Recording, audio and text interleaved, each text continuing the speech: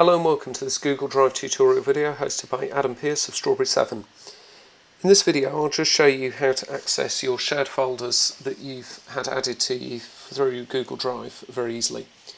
So start by downloading the Google Drive app um, on iOS, in, which is what we're viewing here. You can also access it through the Google Play Store.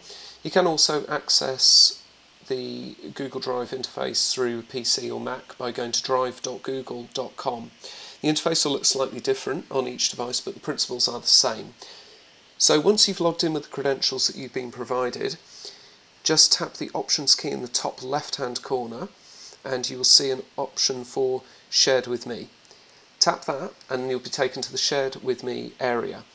From there you should see the folders which have been shared out to you.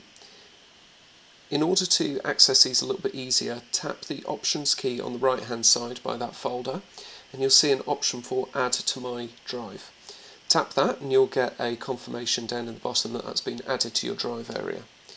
Tap the Options key in the top left again, go back to My Drive and you will see that folder has been added to your My Drive. The advantage of doing this is that each time you open the app, the folder will be there on your My Drive area and will be a lot easier to access than having to go to the Shared with Me option each time. As always, thank you for watching.